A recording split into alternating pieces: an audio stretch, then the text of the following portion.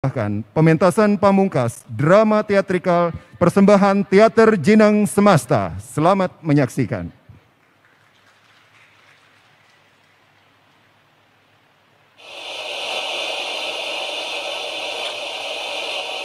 Malam itu aku menggali Menggali di dalam ingatanku, ingatanku Menggali di dalam ciptaku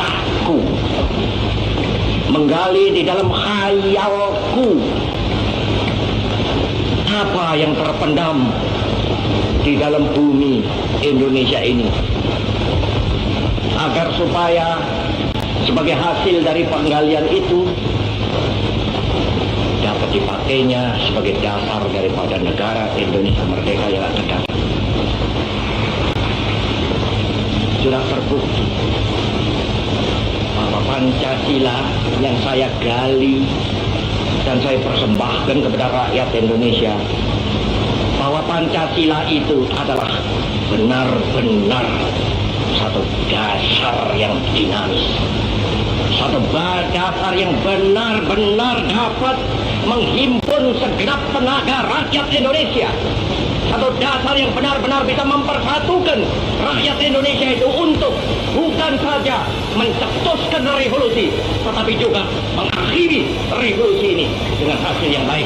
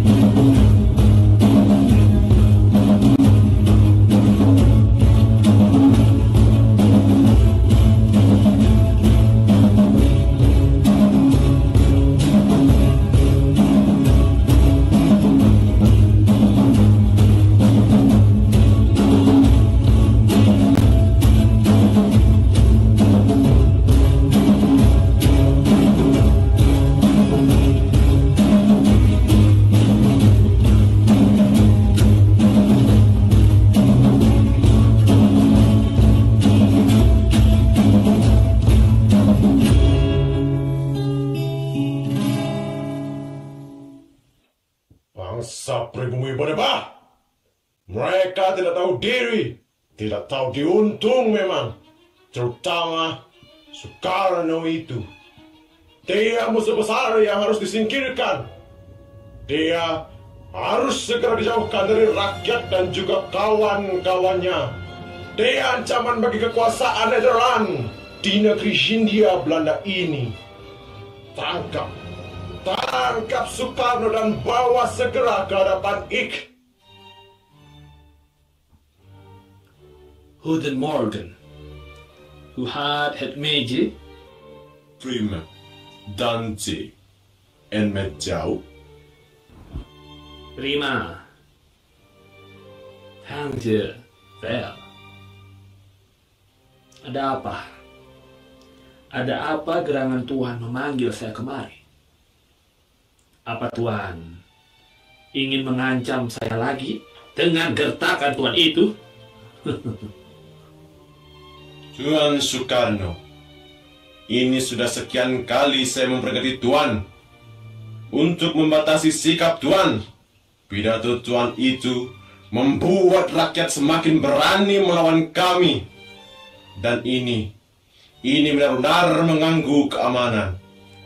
Apa salah saya untuk menyuarakan apa yang jadi hak kami?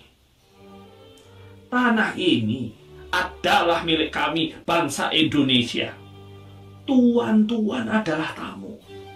Tuan-tuan yang harusnya menghormati kami dan harus tahu batasan tuan di sini. Stop Tuan terlalu banyak bicara. Terlalu banyak kesempatan yang sudah kami berikan kepada Tuan. Ini adalah ganjaran bagi mereka yang berani menentang kekuasaan Nederland. Tuan, akan kami hukum ke Ende. Tuan provokator yang sangat berbahaya bagi kami. Maka Tuan dan keluarga Tuan harus segera meninggalkan pulau Jawa ini. Mereka jihad tanpa dihadapkan pada sebuah sidang pengadilan. Tuan serta merta langsung menjatuhkan hukuman pada saya. Huh, ini sungguh benar-benar tidak bermartabat, Tuan. Mulai hari ini, 28 Desember 1933, Soekarno dan seluruh keluarga diasingkan ke Ende Flores karena keberadaan yang mengganggu ketertiban masyarakat dan mengancam kekuasaan Nederland di Hindia Belanda.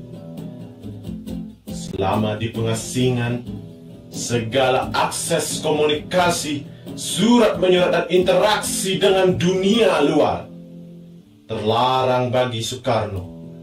Penjagaan pada keluarga mereka harus diperketat. Jangan Jangan biarkan penjahat ini berhubungan dengan siapa pun.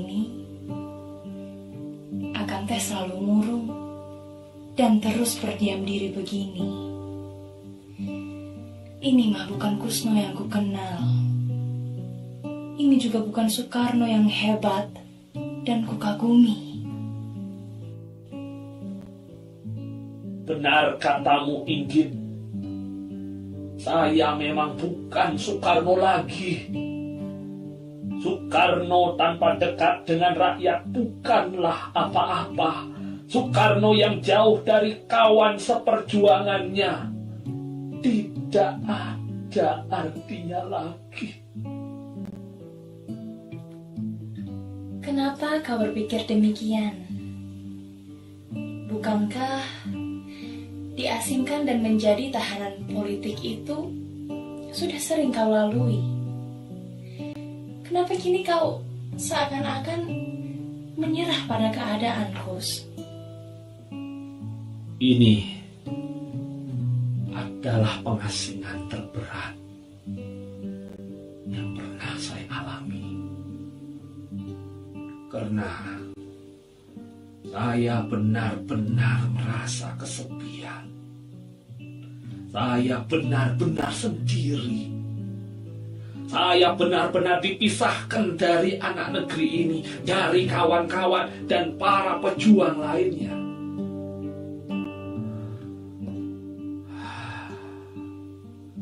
Ini benar-benar menyakitkan menyakitkan hati saya, Inggit. Jangan menyerah, suamiku. Semasih nafas berhembus, darah mengaliri raga, dan jiwa masih merawat hidup, maka kesempatan akan selalu ada. Aku yakin itu. Apa yang tidak dimiliki oleh bangsa kita? Tanah ini, air ini, laut, langit, awan, dan angkasa ini adalah kekuatan bangsa ini. Dan kau tidak sendiri, Kus. Masih ada aku dan anak-anak kita, keluarga kecilmu ini yang akan setia menemanimu. Ya, benar. Bangsa ini adalah bangsa pejuang yang hebat. Aku tidak boleh menyerah dengan keadaan ini. Ujian bagi seorang kesatria adalah bisa bangkit dari ketakutan melawan dirinya sendiri.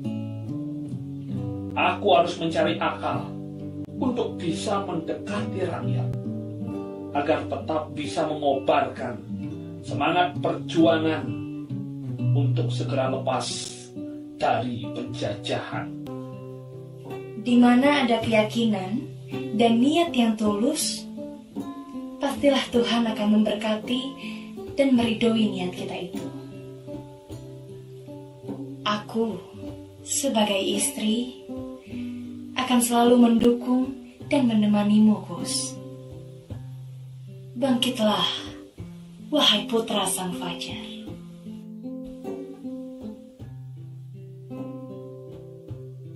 Inggit, kamu memang luar biasa sabarnya. Terima kasih kau telah begitu sabar dan tetap setia menerima apa pun kondisiku ini.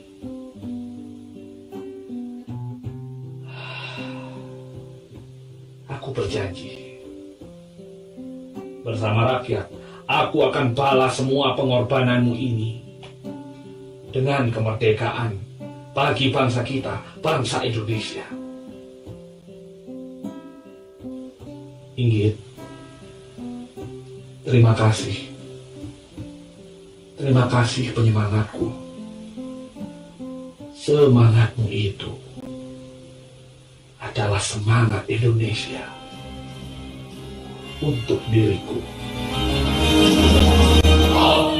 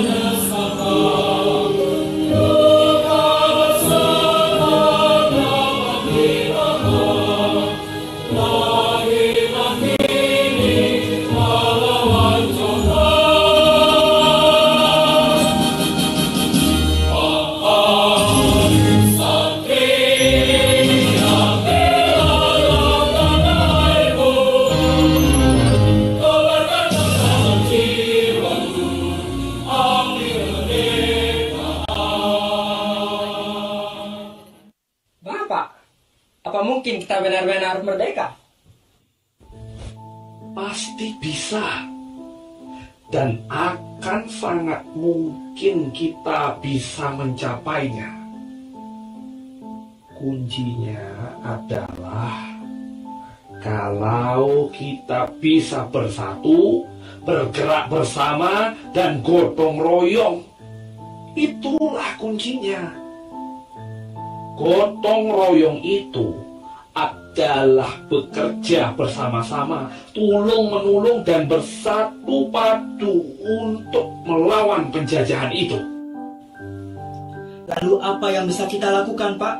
Sedangkan kita saling berjauhan dipisahkan oleh lautan. Bagaimana kita bisa bersatu, Pak? Itu bukan halangan. Bukan halangan. Hati kita satu, walau dipisahkan jarak dan lautan sekalipun. Saling percaya dan meletakkan semangat persatuan di atas kepentingan pribadi adalah kuncinya. Sekarang, kalian harus rajin belajar, membaca buku, dan mengisi diri kalian. Begitulah perjuangan kita sekarang. Hadapilah musuh itu dengan senjata ilmu pengetahuan. Sebarkan dan tanamkan semangat persatuan ini pada semua orang. Keluarga, kerabat, dan sahabat kalian. Itulah keinsapan diri untuk Indonesia. Dan yakinlah, sinar itu dekat. Baiklah Bapak, kami mengerti. Kami berjanji akan setia berjuang untuk kemerdekaan bangsa kita ini. Merdeka! Merdeka! Merdeka! Merdeka! Merdeka!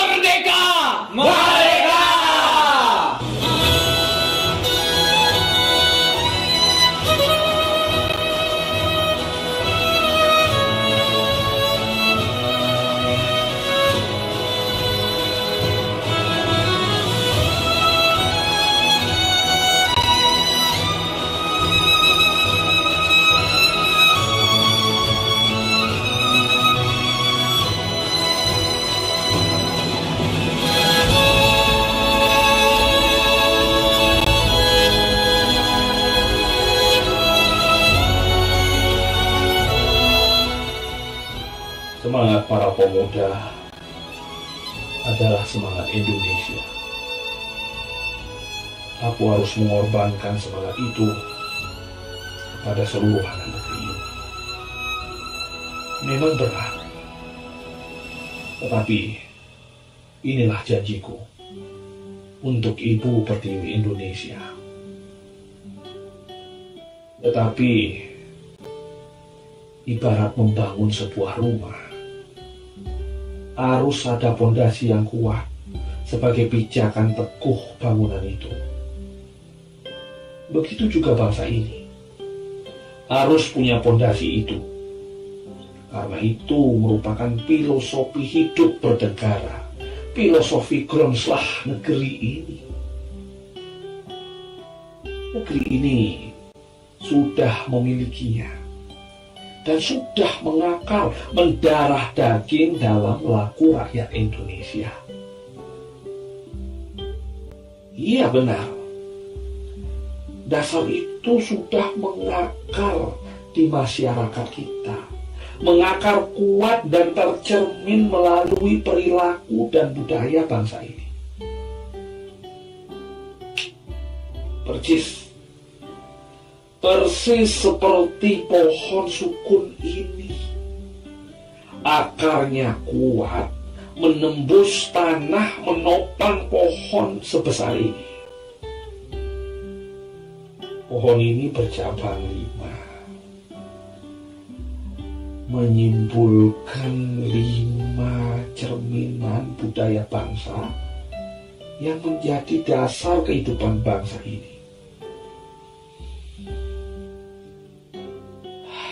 Iya, ialah berketuhanan, kemanusiaan, persatuan, demokrasi, dan yang kelima adalah keadilan sosial. Ya, benar sekali. Inilah dasar negara ini. Inilah filosofi Gronslah itu.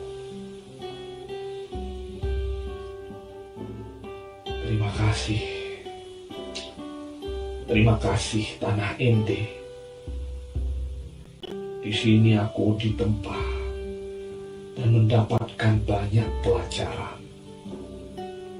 Dan pohon sukun ini adalah saksi bisu renunganku, daya ciptaku yang mengilhamiku menemukan gagasan dasar negara yang kemudian kelak di kemudian hari akan disebut dengan Pancasila.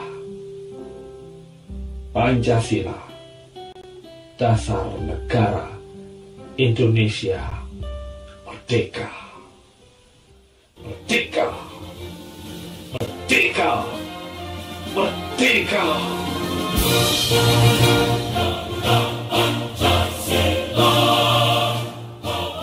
Pancasila Satu Ketuhanan yang Maha Esa Dua, kemanusiaan yang adil dan beradab. Tiga, Persatuan Indonesia. Empat, kerakyatan yang dipimpin oleh hikmat kebijaksanaan dalam permusyawaratan perwakilan. Lima, keadilan sosial bagi seluruh rakyat Indonesia.